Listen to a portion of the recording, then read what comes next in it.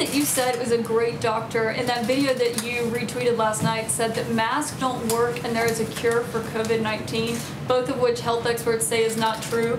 She's also made videos saying that doctors make medicine using DNA from aliens and that they're trying to create a vaccine to make you immune from becoming religious. Well, maybe it's the So- same, maybe it's not, but I, I can't, I can tell you this. She was on air along with many other doctors.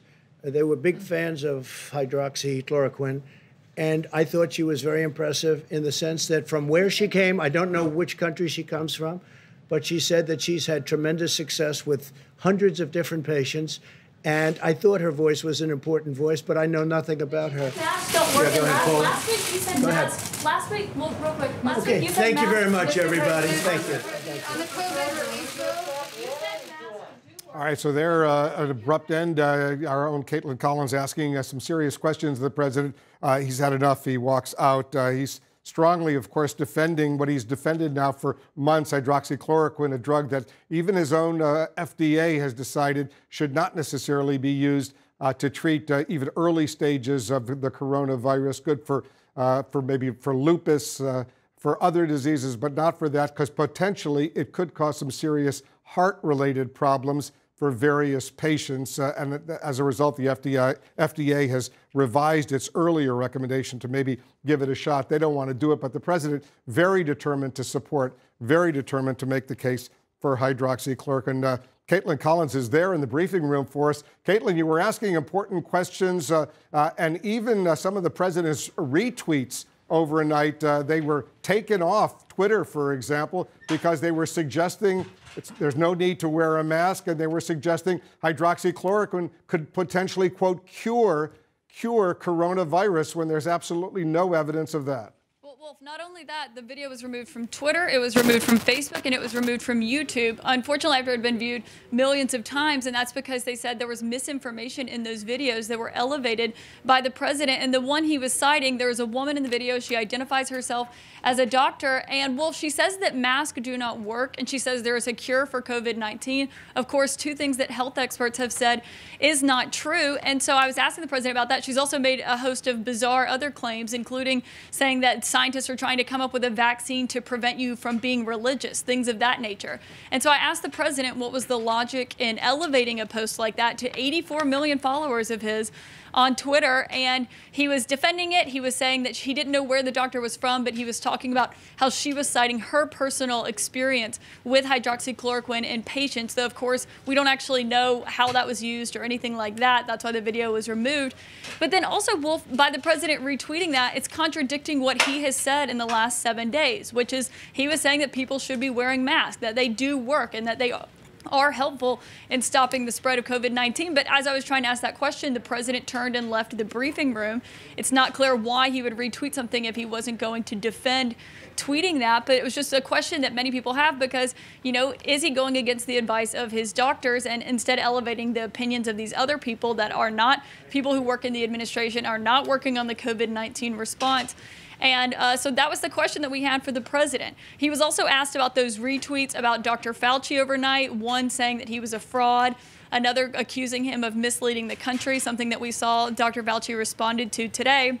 He was saying he had not read those tweets or hadn't seen where it said that Fauci had misled the public, but he said that he wanted to talk about how Fauci's approval ratings are so high, and he asked why his to the response of the coronavirus pandemic are not. He said he was confused by that because they're both working in the administration. Though, of course, that has been something that people have pointed out to the president, saying that people trust Dr. Anthony Fauci more than they trust the president. And that's raised questions. And of course, we had reporting that he had been watching Anthony Fauci's poll numbers. He was irritated by them, and he made that pretty clear in his answer here in the briefing room. He certainly did. And, and, and let me uh, uh, stand by, Kaitlan. I want to bring Dana Bash into this conversation on Dr. Fauci. Uh, clearly, the president. Uh, uh, seems to be a bit jealous uh, of Dr. Fauci. He said at one point, the president, he has a high approval rating. Why don't I? Uh, and then he said, nobody likes me.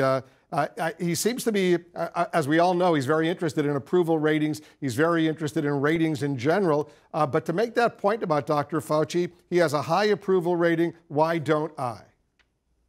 That actually just happened in the White House briefing room.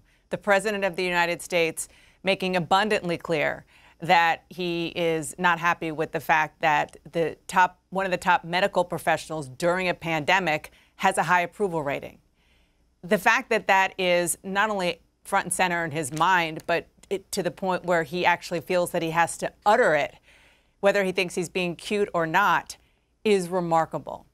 And it really says so much. As Kaitlan said, it's not as if this is a news flash to us because we understand that that is in large part driving uh, the uh, the tension between them, despite the fact that both men have insisted they have a good relationship.